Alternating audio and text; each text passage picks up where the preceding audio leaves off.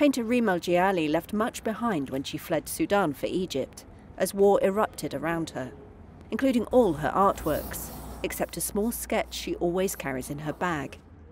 Her studio is in the Khartoum 2 area, where heavy fighting has been taking place.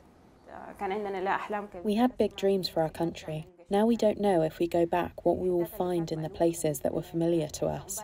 Yesterday we heard that our house was looted, so we're not sure what we will find when we go back.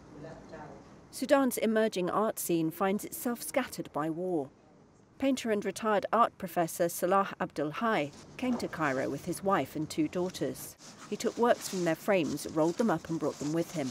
Bigger works were left behind. We are afraid for all of Sudan's heritage fine arts, music, and everything. These people can destroy everything because they have no idea. Rahiem Shadad co founded Downtown Gallery in Sudan's capital in 2019.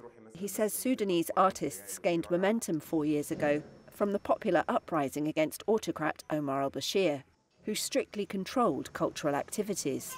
Al Bashir deleted um, archives. He burned paintings. He uh, confiscated a lot of a lot of um, artistic and literature uh, productions. So um, the, the, and so the artists were forced to be in these bubbles and um, sort of like it was they had their own silent cries.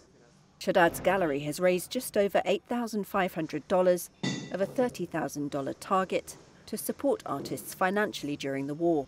He tells them not to give up. The, art scene was really going somewhere. There was so much interest, so many things happening, um, many exhibitions. Um, last uh, February, there were three op openings of exhibitions happening on the same evening, and that has never happened in the history of art scene in Sudan.